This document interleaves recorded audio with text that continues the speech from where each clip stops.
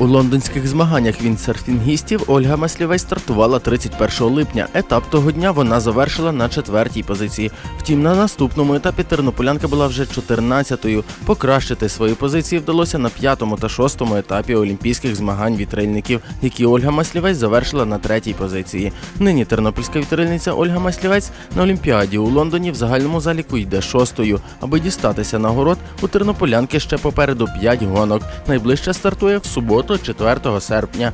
Переможниці та призери Лондонської олімпіади у вітрильному класі RSX визначаться 11 серпня після заключного запливу.